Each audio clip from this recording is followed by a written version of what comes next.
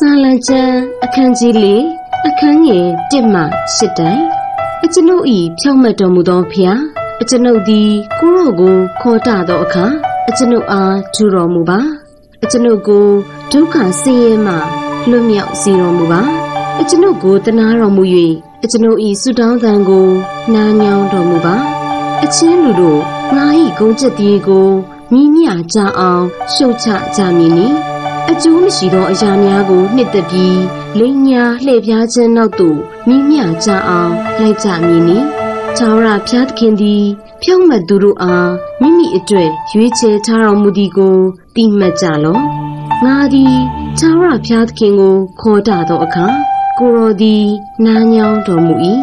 သင်တို့သည်အမျက်ဒေါသထွက်သောအခါအပြစ်မပြုကြနှင့်သင်တို့သည်အိယာပေါ်၌လဲလျောင်း၍ ကိုယ်စိတ်နှလုံးဖြင့်စဉ်းစားဆင်ခြင်လျက်တိတ်ဆိတ်စွာနေလော့ထိုက်တန်သော ပူဇော်တကားများကိုစက်ကပ်ပူဇော်၍ကိုရော၌ယုံကြည်အားကိုးကြလော့ကောင်းမြတ်သောအရာကိုမြည်သူသည်ငါတို့အားပြသနိုင်မည်နည်းဟုလူတို့ကဆိုကြ၏အိုထာဝရဘုရားသခင်ရွှေမျက်နာတော်၏အလင်းကိုအကျွန်ုပ်တို့အပေါ်၌ထွန်းလင်းစီတော်မူပါ